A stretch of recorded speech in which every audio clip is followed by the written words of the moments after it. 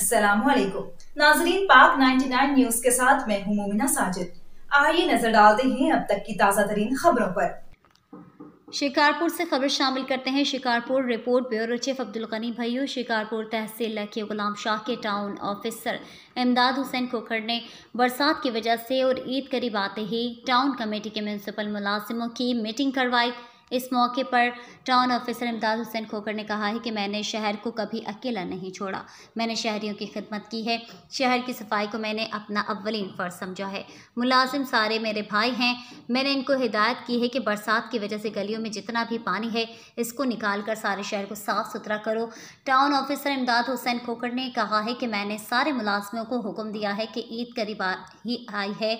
सारे मुलाजिम अलर्ट रहें, क्योंकि बरसात कभी भी आ सकती है। टाउन ऑफिसर इमदाद हुसैन खोकर ने कहा है कि इंसानियत की बेहतरी के लिए काम करना चाहिए। इन शहरियों को शिकायत का मौका नहीं मिलेगा।